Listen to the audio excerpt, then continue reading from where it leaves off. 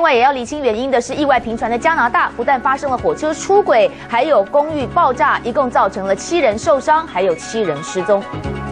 原本笔直的火车和轨道撞成两个大么字形，空拍下的碎裂火车像碎掉的大饼干，几节车厢还冒着烟。尤其拉近看，几列火车出轨之后冲撞，和轨道几乎成直角，甚至造成后方火车叠在一块。加拿大安大略省警方调查，出轨的载货火车连环撞击之后，有几节卡车的油槽还打翻，露出燃油起火，数十户民众紧急撤离，幸好无人伤亡。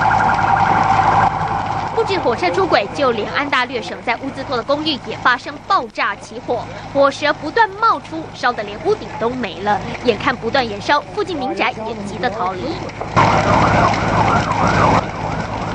目击者说，先听到公寓爆炸，随后起火，温度太高，有的民宅灭火之后还不断冒烟，消防人员赶紧戴口罩，在伸手不见五指的情况下抢救。